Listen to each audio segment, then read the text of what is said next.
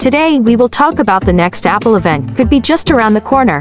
There hasn't been any official word yet, but we speculate the iPhone 13, AirPods 3, and Apple Watch 7 could be on the way sometime this month for the company's fall event.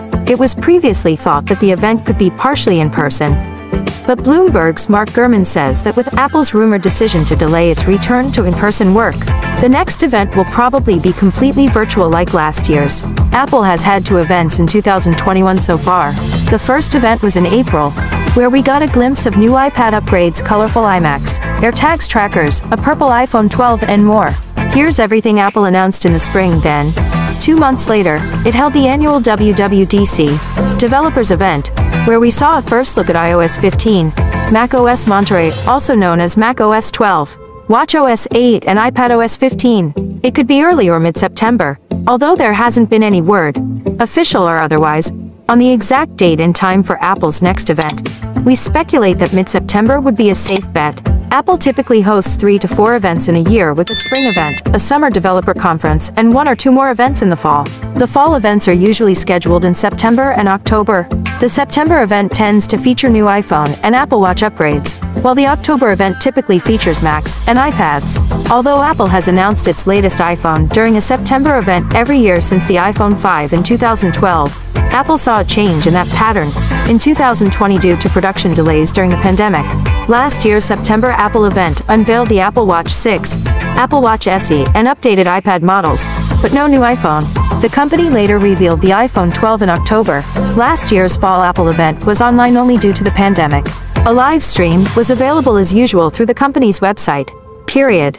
Taking a look at the 2021 calendar, the Labor Day rule would mark September 8th as the next Apple event. But we won't know for sure until we get the invite from Apple. We do know, however, that the company likes to hold its fall event on a Tuesday or Wednesday, although the timeline may return to normal.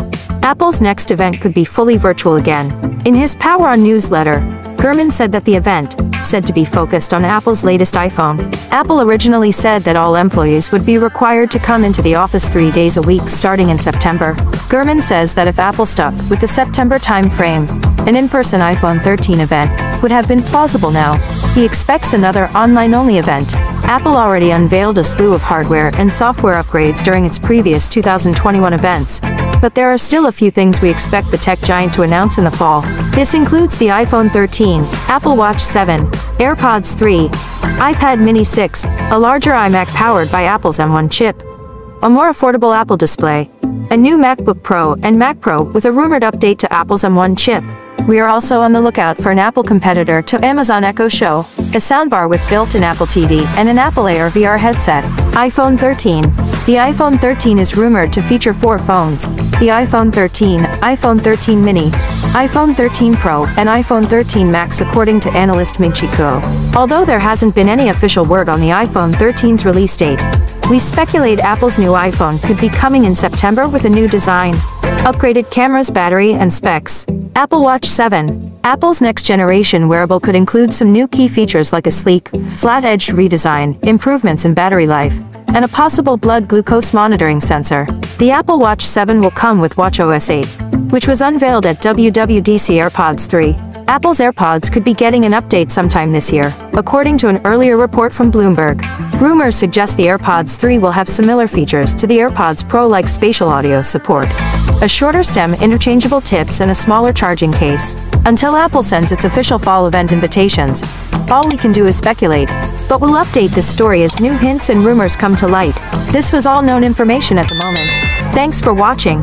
If you like this video, like, subscribe, click to bell. Siri was with you?